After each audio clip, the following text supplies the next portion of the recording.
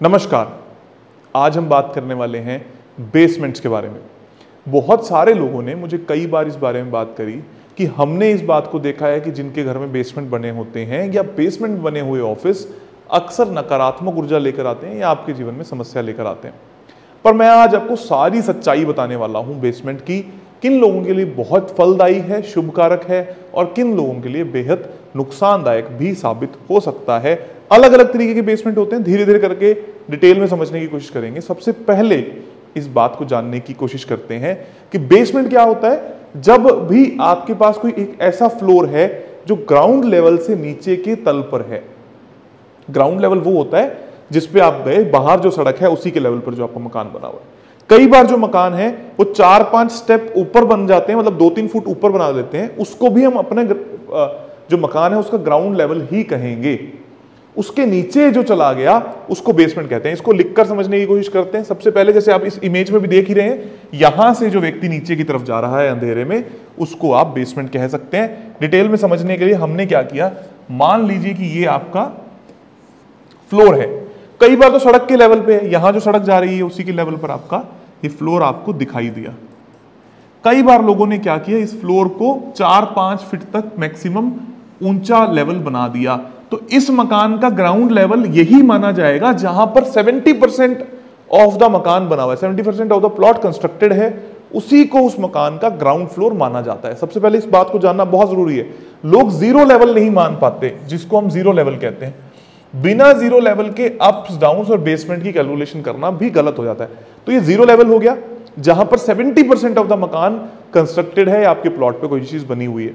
अब बेसमेंट दो तरीके के आते हैं। अगर ये मकान ग्राउंड जहाँ पर सड़क बनी हुई है, उसी के जस्ट नीचे आपका मकान बना है, उसी के जस्ट नीचे ही आपका बेसमेंट शुरू हो गया। मतलब सड़क और मकान एक दूसरे के लेवल पर हैं और नीचे डाउन में आपने अपना बेसमेंट बना दिया। उससे क्या नुकसान होंगे? इस बेसमेंट में चारों तरफ़ अंधेरा रहेगा। मतलब रोशनी के लिए कोई साधन नहीं है। यहाँ पर कोई साधन नहीं बन रहे रोशनी के। इस केस के अंदर फिर भी समस्या देखने को मिल सकती है, जहाँ पर सड़क और ग्राउंड फ्लोर सेम लेवल पर है और आपने बेसमेंट स्टार्ट कर दिया, चाहे वो पूरे मकान में है, इसमें समस्या देखने को मिल सकती है। हंड्रेड परसेंट नहीं है, लेकिन मिलने के चांसेस बहुत ज़्यादा है। अब पूरा बेसमेंट सेम है, ध्यान रखना मैंने इस बारीकी से बहुत लोगों को बात करते हुए नहीं देखा। मैंने ये देखा बेसमेंट मतलब बेसमेंट जबकि ऐसा बिल्कुल भी नहीं है। दूसरी कैलकुलेशन क्या है? आपके मकान का ground level plus four feet है। हालाँकि ये जो फिट्स हैं, वो भी अलग अलग लेवल पर निर्धारित करते हैं। जब हम आगे कभी डिटेल में बात करेंगे, तब इस बात को समझेंगे। चार फिट है। मान लीजिए कि आप आए और आपका जो बेसिक लेवल है मकान का, वो तीन चार स्टेप्स चढ़ने के बाद दो से तीन, चार फिट तक ऊपर है। और वहाँ से फिर आपने बेसमेंट भी दे रखा है। मतलब जो आपका बेसमेंट है, वहाँ से जब आप अपनी छत को देखोगे, नीचे खड़े होकर तो आपको साइड में आले बने हुए दिखेंगे या वेंटिलेशन का साधन दिख जाएगा। जैसे यहाँ पर खिड़कियाँ बना देते हैं अक्सर कई लोग।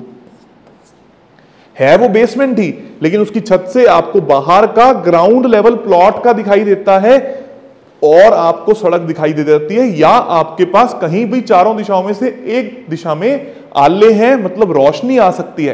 रोशनी नहीं भी आ सकती, लेकिन फिर भी वो जो बेसमेंट है, वो थोड़ा सा ऊपर है सड़क से। तो मान लीजिए, ये फिर भी आपका अच्छा है कंपैरेटिवली जिसके अंदर बिल्कुल रोशनी नहीं आती, इससे काफ़ी ज़्यादा अच्छा ये वाला रहने वाला है। बशर्त कि पूरे पूरे प्लॉट में बने हुए हैं, ना कि किसी पर्टिकुलर डायरेक्शन में। इस बात का ज़रूर ध्यान दीजिए।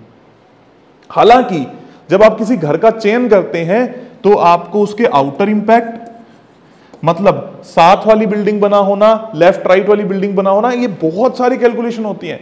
जैसे मेरी एक छोटी सी कैलकुलेशन है, आप सभी ने कभी नहीं सुना होगा, आज आप इस बात को सुनने की कोशिश कीजिए कि ईस्ट में जिस भी व्यक्ति के घर के ईस्ट वाला घर अगर ऊँचा हो जाता है, पूर्व वाला घर अगर ऊँचा हो जाता है तो इस घर में, जिस घर में आप रहते हो 100 परसेंट समस्या आती है और फाइनेंशियल क्राइसिस आने शुरू हो जाते हैं, चाहे वो शॉप हो, वो फेल हो जाती है।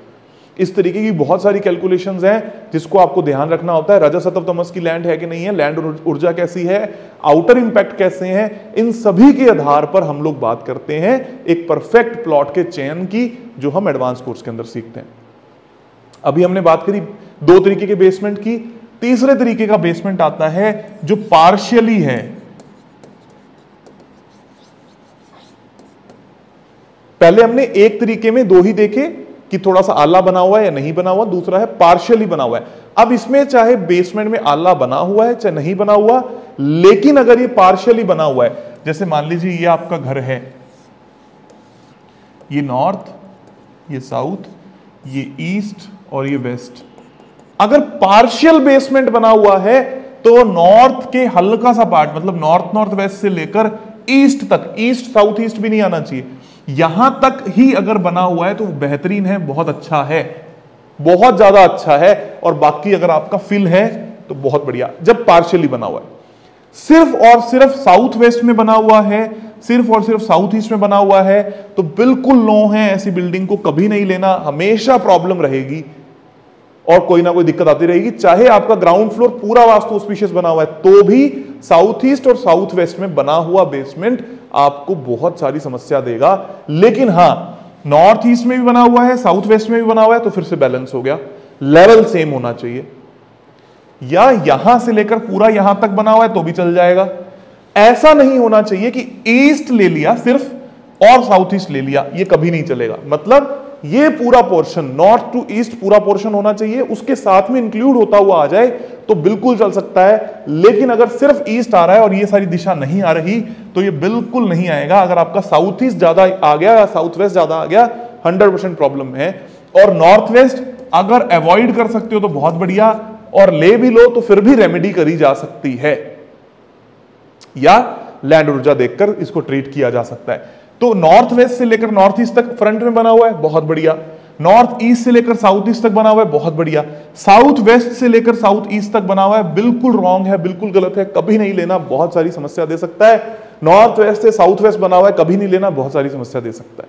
इस बात का विशेष कर ध्यान दें। उसके बाद बात करते हैं, अगर आपकी शॉप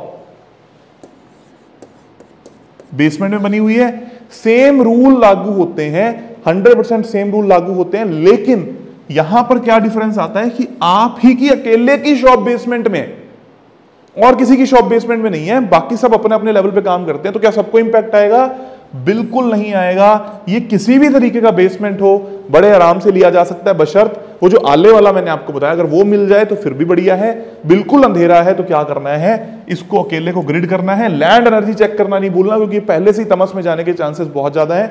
इसके अंदर आपने इसको ग्रिड किया, जहाँ पर आपकी स्टेयर्स एंट्री कर रही है मतलब बेसमेंट के केस में कॉन्सेप्ट चेंज हो जाता है। फ़र्स्ट फ्लोर के कॉन्सेप्ट में last step is the entry basement के कॉन्सेप्ट में first step is the entry इस बात को हमेशा ध्यान रखना। जब लोग स्टेयर्स को ग्रिड करते हैं, आपकी स्टेयर्स बनी हुई हैं और यहाँ पर फ़र्स्ट फ्लोर आ रहा है तो this is the entry for first floor for for basement भी यही एंट्री है जहाँ से आप नीचे उतर रहे हो। समझे इस बात को? जैसे ये बेसमेंट आ गया और यहाँ पर स्टेयर्स आ गई तो इसी फ़र्स्ट स्टेप को आपने एंट्री मानना है। फ़र्स्ट फ्लोर के कॉन्सेप्ट में लास्ट स्टेप जो ग्राउंड से लास्ट गया उसको एंट्री माना जाता है। तो इस वाले प्लॉट की बेसमेंट की एंट्री क्या है? फिर अलग से ग्रिड करके देखिए, कहाँ आप बैठे हो, कहाँ आप नहीं बैठे, फिर उसका पूरा इवैल्यूएशन करना पड़ेगा, तब जाकर एक फाइनल निष्कर्ष निकलता है। कंक्लूडेड क्या है बात? सबसे पहले अगर आपका बेसमेंट है तो क्या उसमें बाहर रोशनी बन सकती है कि नहीं बन सकती? क्या वो बिल्कुल अंधेरे वाला बेसमेंट है? क्या उस बेसमेंट के अंदर आपकी जो पार्शियल बेसमेंट है कि नहीं है, किस पर्टिकुलर डायरेक्शन में है, और फोर्थ पॉइंट आता है कि उसकी एंट्री क्या है। अगर वो इंडिविजुअल केस में यूज़ हो रहा है, पूरी बिल्डिंग आपकी नहीं है। पूरी बिल्डिंग अगर आपकी है तो वो बेसमेंट के अंदर आप सेम घर या सेम तरीके से यूटिलाइज करते हो तो उसको देखना पड़ेगा कि वो कौन सी दिशा के अंदर आ रहा है। इन सभी बातों का विशेषकर ध्यान दें बेसमेंट लगभग इसी तरीके के होते हैं। अगर फिर भी आपके मन में कोई और दौरा है या डाउट हो तो उसको ज़रूर पूछिएगा और कमेंट में लिखिएगा। आई होप कि मैं आपको आंसर कर पाऊँगा। बहुत बहुत धन्यवाद, आभार। खूब सारा प्यार।